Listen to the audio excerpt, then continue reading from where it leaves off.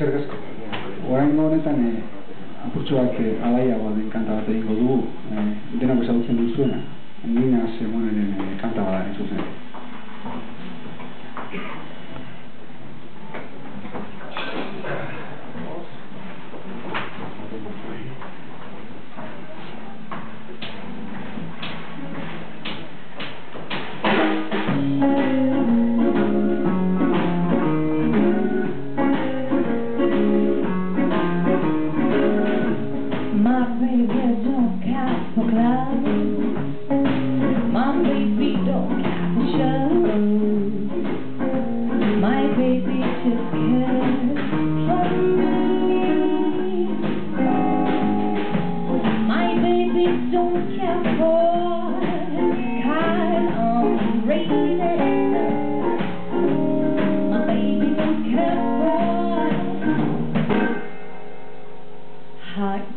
please.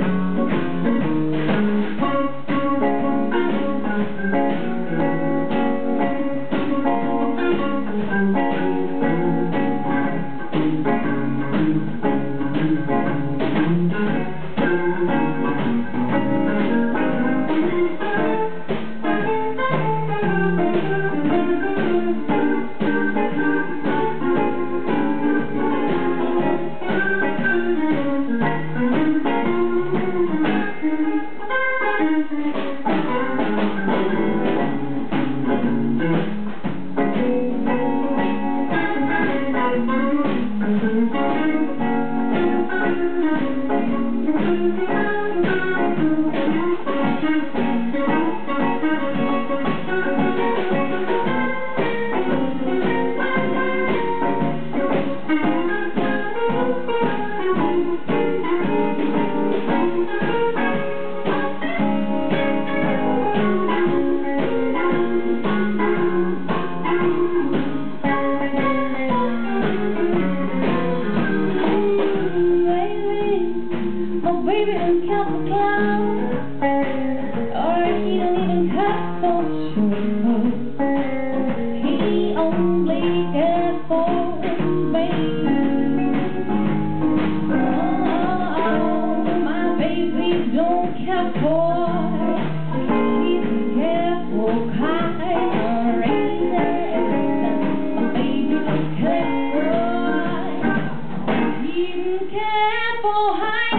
believe it.